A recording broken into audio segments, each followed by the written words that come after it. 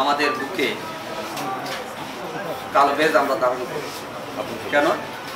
বাংলাদেশের একটি সর্বোচ্চ বিশ্ববিদ্যালয়, বাংলাদেশ প্রকৌশল বিশ্ববিদ্যালয়ের একজন মেধাবী ছাত্রকে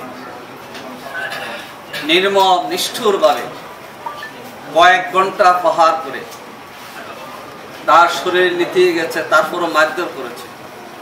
এইভাবে হত্যা করা দৃশ্য অতীতে কিছুটা মানুষ দেখেছে, কিন্তু নির্মম সাড়ে ছয় ঘণ্টার এই দৃশ্য প্রমাণ করে যে আওয়ামী লীগ কত পৈশাসিক আর আওয়ামী লীগের ছাত্র সংগঠন, ছাত্রলীগ কত বেশি সন্ত্রাসী।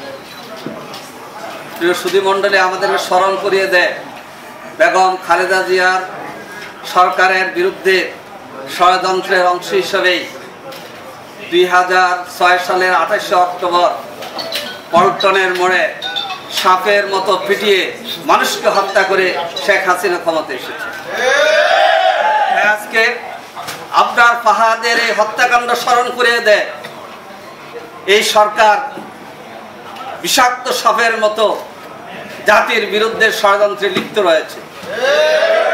তাই আমরা আজকে এই আন্দোলনের জন্য প্রয়োজন বেগম খালেদা জিয়াকে।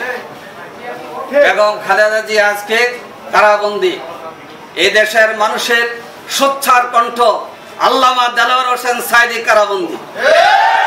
আসুন আমরা শপথ গ্রহণ করি।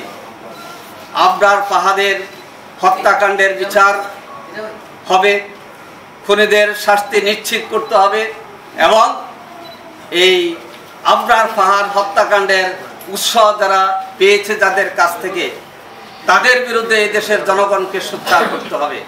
এবং বেগম খালেদা জিয়া সহ বিশ দলীয় জোটের নেতৃবৃন্দের মুক্তি নিশ্চিত করে ইনশাআল্লাহ সামনে চলমান আন্দোলনকে আরও বেগবান করতে হবে। সকলকে ধন্যবাদ জানিয়ে আবদার